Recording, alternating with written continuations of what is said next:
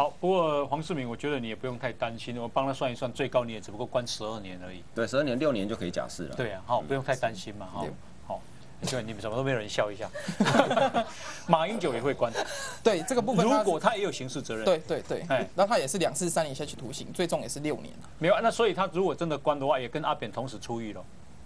嗯，他可能还有其他的他可能还有其他的。这个都是保守估计，是目前已经有的资料，但是你还没细查，你不知道他整个过程里面有几次泄密、几次监听。但是目前他们已经承认那他这一条洗钱罪嘞，洗钱他一条是财产来源财产来源财产来源不明罪，台台北市市长的时候，他也也是钱不清不楚啊。我刚才讲了一半，刚才被郑文英打断了，那很重要啊，可以再关他六年了。嗯，哪一个是？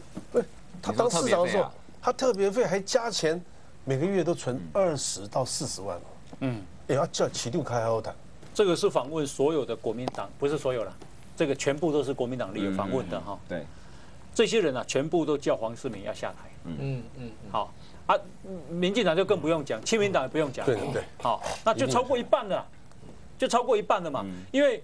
呃，总统提名立法院通过十六席再加这里就十二个人了嘛，就五十八了，58刚好超过一半了了，嘛已经过半了。好对，所以黄世明看起来下台是是忘记了，特征组一定会废掉了。好，没关系，因为我看苹果日报的民调是六十九趴的人要黄世明下台嘛，只有二十八趴的人说不用嘛，好，也就是说现在全民啊叫黄世明下台已经成为一种氛围嘛，哦，那马马英九刚我扣零后落来，目前看起来比较不，被他报。啊哪年因为其实照电影刚刚那个讲哦，其实，在某种程度上，至少就泄密这件事情上，黄世明跟马英九其实是共犯结构哎。马英九今天要负担一个风险，嗯，我你今天你是黄世明，我是马英九对，我叫你落台，要不然你给他嘎出来，嗯，你万一把我咬出来怎么办？对，那马英九也完蛋啊。所以他现在一定，我觉得马英九现在应该会保住黄世明，然后去硬凹过去。所以你你看两件事情的态度很有趣哦。对王金平哦、是九月六号开记者会，然后当天曾永夫说不下台，第一早上他说我又没做错事，我为什么要下台啊？后来这个小强打电话给曾永夫说你不下台，我们就自己处理，嗯。就我们就来处理，这陈其迈讲的嘛。曾永夫下台了，然后赔上一个高检署检察长陈守华，再加一个高检署检察官林秀林秀桃桃，然后九月八号马英九开记者会，开始准备要干掉王金平，隔没几天王金平回国，隔天考这个考纪会开除王金平，短短五六天之内，该杀的全杀光了，手段多明快。黄世明这个是证据明确哦，特侦组监听立法院总机，这是已经证明是他自己也承认了啊对，已经是事实了。可是你现在有没有看过马英九出来讲话？大是大非，没有哎、嗯，这个没有是非哎，这个反正就是就派李佳飞出来讲说啊，我们这个总统的司法红线哈，我们确实我们坚持不能有滥权监听，有非法监听，没有错啦。可能没有非法监听，那这他是用合法掩护非法嘛？不是这个问题是我们大家是不是要去追究发监听票的法院？这个法官也该死，不是嘛？这种监听票都可以准。就是我们除了说你，因为法务部可以讲我是合法申请监听票的啊，对问题是在什么？就是发这个监听票，它有什么基准？还是只要是你特征组来要求开监听票，我通通给，不然怎么会一年？这个哈，他为什么要把那个零九七幺这个录音档把它消失掉？因为代志做大掉对，太我嘛是当事人呢。太多人。啊，立马抵中心我会馆当事人啊对，哦嗯，你有录到我系无？啊，我到底是什么案？你甲我监听，因为这个电话你录了，你也会录到我的，对录到我办公室所有的助理啊，哦，我拍出去的每一个电话。但是你都已经正被录的人，老科办公室不是抵中心大楼呢。对，那到但是哈另外一件事，但是几个系统如果满的时候会会共用，一通来通去，所以整个你以为几乎全部就是全部啦，全部被监听了。所以你若讲这个，可是话量这么大，技术上我可我告诉你行吗？，这个就是我现在告诉你们说，我去看过嘛，你们没有去看过嘛？我讲一下调查局吼，伊的这个录音室内底吼，每每一个。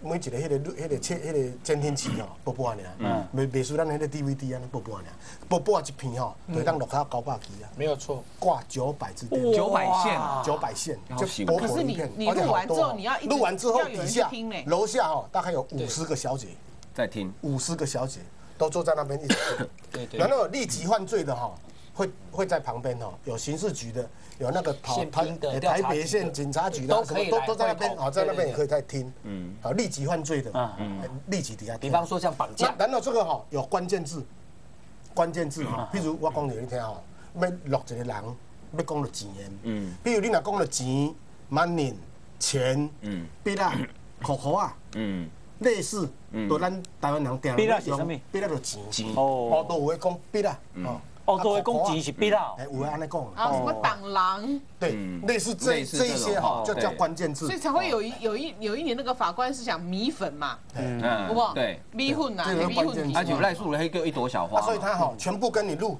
你只要攻到王金平，攻到柯建明，啊是讲到有关键字的关说案件。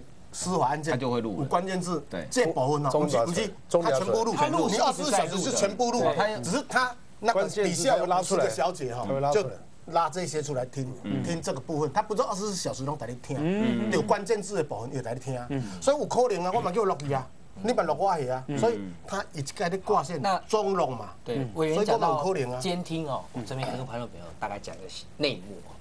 呃，调查局，我刚才讲了这四个在，调查局、刑事局，然后还有军情局，还有海军署，他是司法警察身份，所以他一切要照规矩来，他不可能秘密的去偷偷的去监听蔡委员，他必须要有法官的监听票。只是这个监听票到底这个法官是不是笨蛋，有没有智慧，那就回到年旺兄的论点了哈。但是他们必须照规矩来。我跟你说，不照规矩来的，我这边就直接告诉你，就是国防部的军事安全总队，这不需要照规矩来的。这这这个单位到底什么单位啊？就是以前的反情报总队，我们讲幺洞幺，早期的警备总部，警备总部没了，变反情报总队，反情报总队没了，现在变成国防部军事安全总队。前几个月他们才办了一个大案，嗯，说那时候高华柱还在干国防部长的时候，他下面竟然有个将领，只要上面长官不在，就偷偷跑去跟银行的女经理上宾馆。你知道谁把他揪出来的吗？国防部军事安全总队。哦哦，如果今天我是执政党，我要对蔡黄郎委员这个人嗯做一个不法监听，我不会笨到去用调查局或者是刑事局。哦，我用这个单位的，我当然就用这个单位的。好，比方说像之前不是国防部被骂乱七八糟吗？而且总统他也可以直接跟总统报告的，对不对？对，他由参谋本部的情报次长直接管辖。嗯，好，那这这里头他能不能向民臣组报告的话，那那就我就不晓得。但是他们之间的默契，这样子蔡委员的这个整个监听就由我来掌控嘛。观众朋友，那这些监听设备到底是谁在研发？国内当然有很多可能是仰赖进口的。但是国安局有专门在研发，国安局本身不管监听的，他研发这些这些设备，然后再交给这些人。嗯，好了，那因为讲到监听，你知道我们所有的手机，我们的手机明明就是跟民间业者在在通讯嘛，那为什么会被他们拦截到？因为民间的这些通讯这些这些电信业者，他们会拉专线，直接拉到我记得叫 T one 专线，直接拉到，比方说调查局刚刚委员介绍的那个机房。对，然后呢，他就在还有像刑事局的话，我记得好像是设在保保保一还是哪叫保一的样子，他就在那边听，然后听，然后听到的话，或者是像我们这次比较特别，就是我们国家给这些通讯业者牌照的合约绑的约里面就规定一条，一定要配合就是这个，对它没有错是它是分系统商，比如说以我们现在行动电话有有几家嘛哈，比如中华电信、远传、台科大、威宝、亚太，还有大众，它是分三家是由刑事局监听，三家是由调查局监听。对不，我们政府对不起，可能蔡蔡委员没注意，我们政府要编预算给这些这些业者，嗯，所以他才提才有义务才提供这东西。对，好，那我继续讲哦，因为观众们很，你们都担心被监听嘛。